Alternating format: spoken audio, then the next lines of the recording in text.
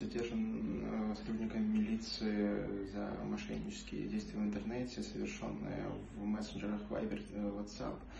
Э, я отправлял фишинговые ссылки, где вводили банковские данные, они переходили в Бивером, в Бивере снимали деньги, дальше мне отправлялся процент. Сделал я это в боте как воркер и подрабатывал модератором чата.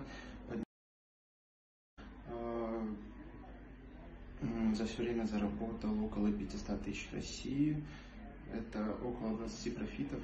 А, очень раскаюсь, прошу не задерживать.